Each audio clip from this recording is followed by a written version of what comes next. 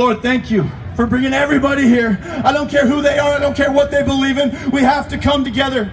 And I know that you're shining over this city today. And I ask that you breathe your life and your spirit back into this city. And you make this day one of the most positive days that Portland has ever seen. In the name of Jesus Christ, we all love you very much. Amen.